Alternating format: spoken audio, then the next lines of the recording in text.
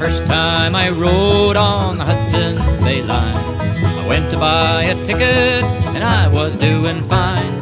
I asked the station agent how soon my trip would end.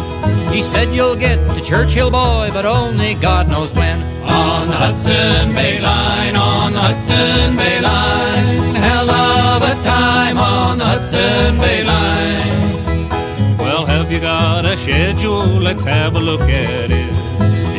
I got a schedule, and it ain't worth two bits.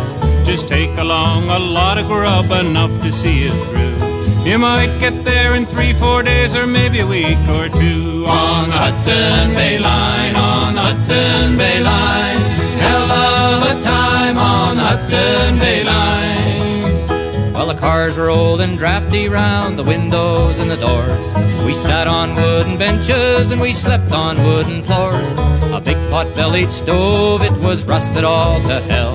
For heating and for cooking and for spitting on as well. On the Hudson Bay Line, on the Hudson Bay Line, hell of a time on the Hudson Bay Line.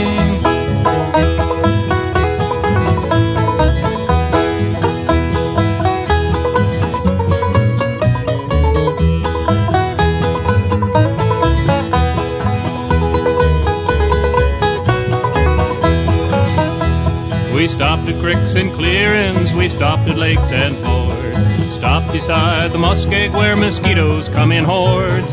Stopped at bays and rivers, at rocks and waterfalls.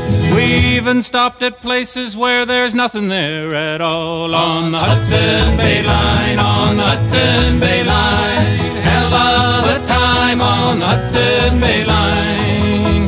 Now, boys, we've hit a washout, the conductor he did say. And if she don't get mended, I'm afraid we're here to stay. I need a bunch of volunteers, that's you and you and you. I broke my back, a line and track, until the train got through. On the Hudson Bay Line, on the Hudson Bay Line, hell of a time on the Hudson Bay Line. Well, now they got a diesel train that's really mighty nice.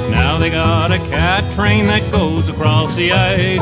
Then they've got that airline, it's all the greatest fad. But they are never gonna have the good times that we had On the Hudson Bay Line, on the Hudson Bay Line, hell of a time on the Hudson Bay Line, on the Hudson Bay Line, on the Hudson Bay Line, hell of a time on the Hudson Bay Line.